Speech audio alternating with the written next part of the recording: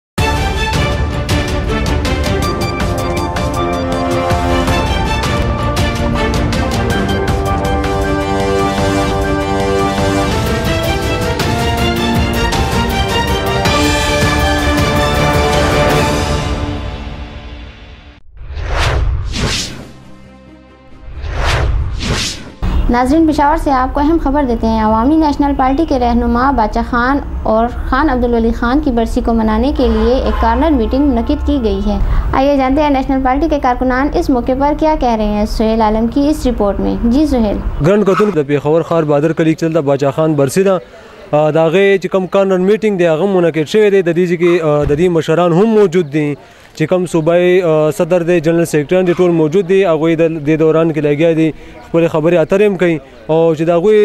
څه څه خبرې دي هغه هم ستاسو سکرین په مخامخ موږ راولو په شوق بیا کوو وخت هم ورته وباسو خو زه یم چې هر انیکوسر کې د هغه وخت پکې شته زموږ خپل خازي سره خبرې کړې دي جمعې ورځ زموږ میټینګ دی خپل کونسل او ویلیج کونسل خبرې د برسې باره کې دي او ان شاء الله برسې ټول عمر زمونږ د پیښور په خلکو باندې خسته شوې ده پارټي ژوندۍ کړې ده او زمونږ د ستاسو ټولو په همت باندې چې مونږ نه یو نو بیا دې سم نشي کوو که مونږ له عزیز تربور خبر دي په کار چې مونږ ورور شو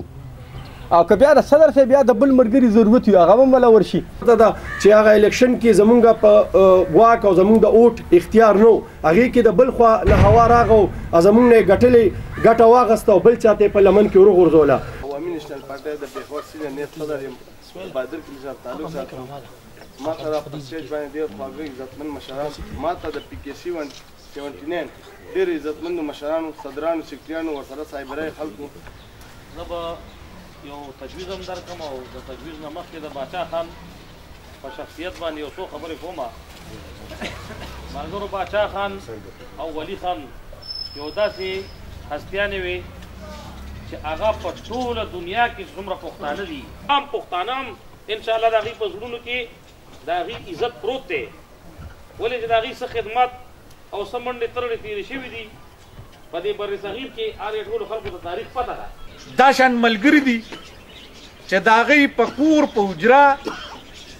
کالو سر جنډه ولاړي هغه ته به چا ورم نیډه بولي چې یاره ته ماله اوټ راکړه چا به ورته خبره هم نه کوي ګران کتونکو دی وخت موږ ضلع صدر فرهاد صاحب سره موجود یو دا نه د برسې په باره کې تاسو کو دی یونین کونسل له سره او ضلعي لحاظ ته تیارې کم دي درسي جی فرحات صاحب اعوذ بالله من الشیطان الرجیم بسم الله الرحمن الرحیم اول خو زه تاسو ډیره شکریا ادا کوم چې تاسو راغی دلته د ټولو ناول خو مونږه د برسه د تیارې د پاره د ټاونونو زمونږه چونکی پیښور ضلع کې درې ټاونونه دي او یو مونږ سره سب ډیویژن حسن خیل دي نو مونږه د 17 تاریخ نه د هر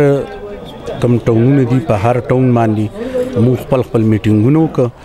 هغه ټاونونو په خپل علاقو خپل ټاونونو کې یونین کونسل روغختي او یونین کونسلو میټینګونه وکړو بیا د اغې نه پس موږ د پوره ضلعي هغه باچاخان مرکز کې ټول مرګري راغون ک او اغي سرم د برسه په حواله خبرې اترې وکي د اغي نه موږ بار تاریخ ورکو چې په 12 جنوري په خپل یونین کونسلو کې میټینګونه دغه کوي په مختلف زینو باندې نو هغه یونین کونسلو میټینګونه هم هم او که خو که بعضی یونین کونسلو کې لکه مرګرو کې ودونه خاده وی توار ورځ وا هغه مونږ ته ویل چې مونږ به په 13 یا 14 یا 15 دی تاریخ باندې خپل میټینګونه کو نن تاسو وکړه چې زمونږه په نن ورځ د پیښور د ټولو د پی کې په ستا باندې خپل میټینګونه وکړ هغه کې خپل ورکران خپل صاحب رائے ملګری هغه خبردارې خپل هغه سره د میټینګ په حواله دا خبرو شي چې باچا خان برسه کې به ان شاء الله ولعزیز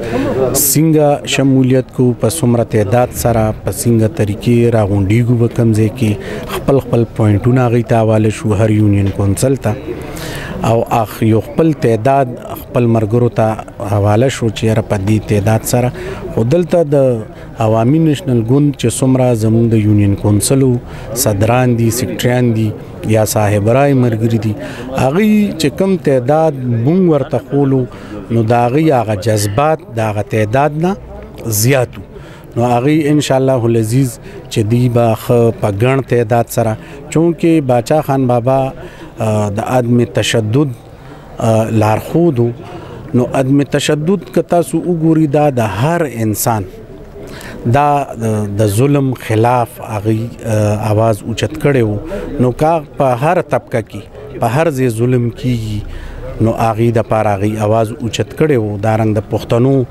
د حقوق د بقا لپاره نو نن الحمدلله حالات دارنګ جوړ شو چې ټول پښتانه په دې پوي شو چې باچا خان بابا څه خبرې کولی سی ویل سی وینا کوله هغه ټول خبرې نن رښتیا شوي نو نن زمونږ ځوانان هم هم په دې خبردار دي او په دغه جلسه کې په دغه کلیزه کې به زمونږ ملي مشر خصوصي د دې موجوده حالاتو په رڼا کې هم به خپل سیاسي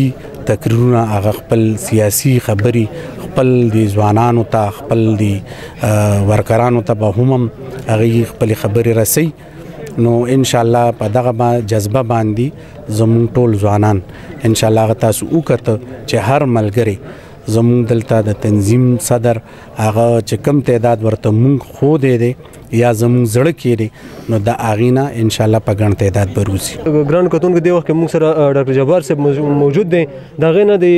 پی کې 79 باره کې معلومات کو چې د دې تیارې تر کم ځه پر رسیدلې دی او کم هدا پوری دی روان کړي دی جی جبار صاحب د ټولو ناول خو تاسو د ټولو زما مشکورې ما چې موږ لم ټیم را کو راغی زموږ په دې میټینګ کې شامل شوي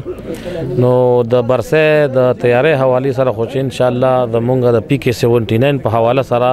نن ان شاء الله دا میټینګ وشو او زمونږه تیاری خبره برابره تیار ده ان شاء الله خلک ډیر پرجوش دي او په ډیر تعداد کې به پی کې 79 نه یو ډیر غټ جلوس نو شهرا ته د پېښور ډیویژن په جلوس کې به شاملېږي او د دین علاوه ان شاء الله لکه د باچا خان سره زمونږ د پښتنو خپل هم یو جذبه ده یو مینه ده په دې وجه چې باچا خان یو عالمي د پښتنو لیډر دی او د پښتنو د حقوق د پاره جیلونه تیر کړی دي او ډیر مصیبتونه تیر کړی دي اغه نن په ټوله دنیا کې ټول قومونه دا مني چې او د پښتنو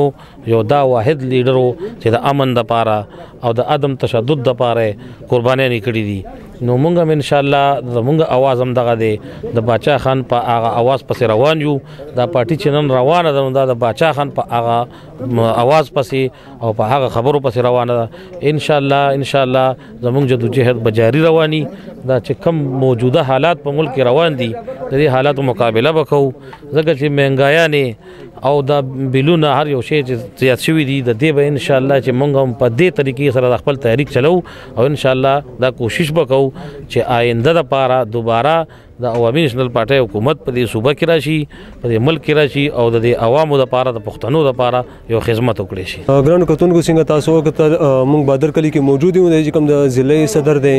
فرحات صاحب هغه د خپل هم خیالاتو اظهار وکړو او جبار صاحب هم کو پی کې 79 چې کوم موږ سره یون کونسل نائب صدر او هغه هم خپل اظهار وکړ دوی وایي چې ان شاء الله د 20 تاریخ باندې به د دې چې کوم برسي ده د باچا خان صاحب او برپور جوش او خروش سره به دی مناوي کیمرمن اختر منیر سره پېښور ون نیوز پېښور